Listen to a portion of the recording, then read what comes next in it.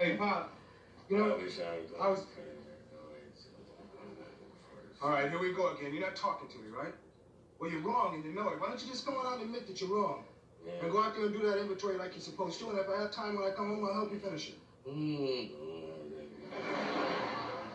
Pop, you know I like toast. Mm. Mm.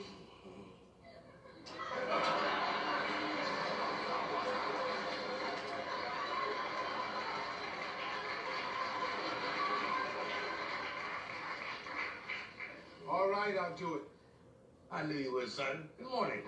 I've always given in to you, Pop, but I'm not going to do it this time. If you want that inventory done, you're going to have to do it yourself. You got that? And when I come home, I'll finish decorating the tree. What branch would you like your teeth on?